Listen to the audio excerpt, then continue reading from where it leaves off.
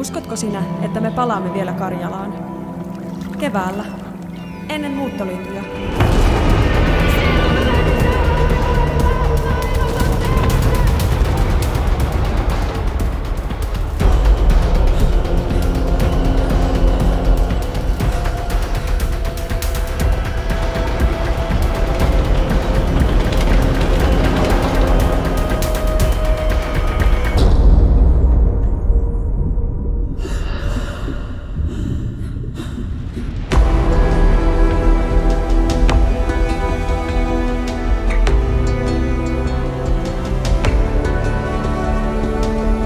Minusta tuntuu, että täällä, Pohjanmaan lakealla maalla linnuilla on aivan erityinen tapa lentää.